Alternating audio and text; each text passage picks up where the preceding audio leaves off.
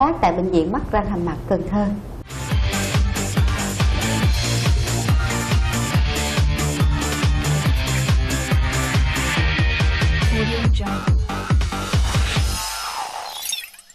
Thưa bác sĩ Hòa, tại sao lại gọi là răng khôn? Răng khôn thì à, có vai trò gì đối với hệ răng của chúng ta? Ờ, trước tiên thì ờ, răng khôn nó mọc ờ, ở cái thời điểm là từ 18 tuổi cho tới 25 tuổi Dạ. Thì ờ, lúc này ờ, thời điểm này được coi như là thời điểm trưởng thành của ờ, cái người thanh niên Dạ. Ờ, thành ra có thể tạm gọi đó là cái là răng khôn Dạ. Răng khôn thì có vai trò như thế nào đối với hệ răng của chúng ta? À, răng như chúng ta đã biết thì cái bộ răng vĩnh viễn gồm à, có 32 răng à, bao gồm hàm trên 16 răng và Dạ. hàm dưới 16 răng Dạ. à, và à, răng khôn là một à, cái răng à, cối lớn hay là gọi một cái răng hàm thì nó cũng góp phần trong cái việc mà à, thực hiện cái chức năng nhai thức ăn ở Dạ. trong cái à, hệ tiêu hóa của chúng ta. Dạ. Dạ. Và khi một răng khôn thì à, thường là mọi người cảm thấy đau nhức. Nguyên nhân là do đâu và cách xử lý như thế nào thưa bác sĩ Hòa?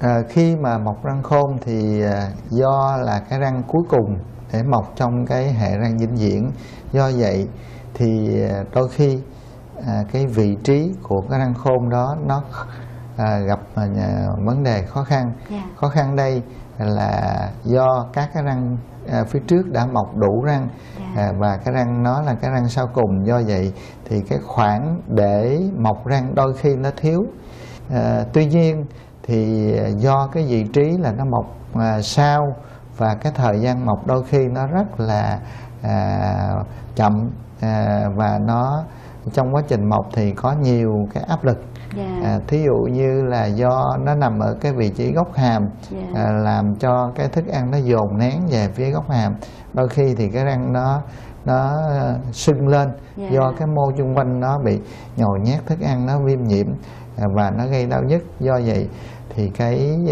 à, mọc răng khôn có thể coi như là một cái tai biến Dạ. à, thành ra khi chúng ta mọc răng khôn thì ít nhiều gì nó cũng bị đau hơn những cái răng khác thí dụ như răng số 6 răng cối Dạ. số 6 thì mọc lúc 6 tuổi và răng số 7 thì mọc lúc 12 tuổi Dạ.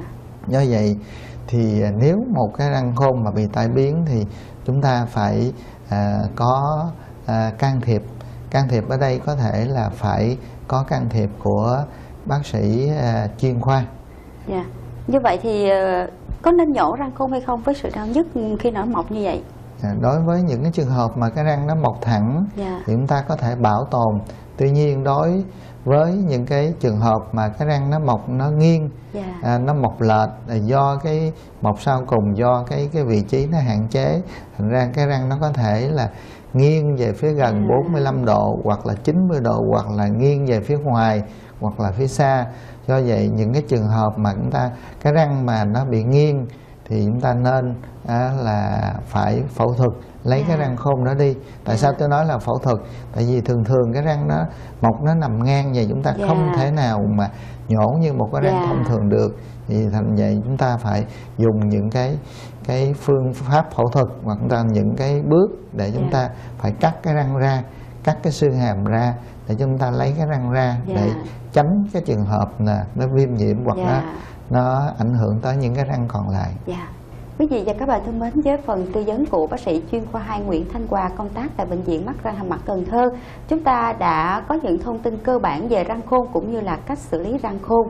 Và đến đây thì chương trình Alo bác sĩ xin được tạm dừng. Mọi ý kiến xin quý vị gửi về email của chương trình alobác sĩ.ct@gmail.com. Hẹn gặp lại quý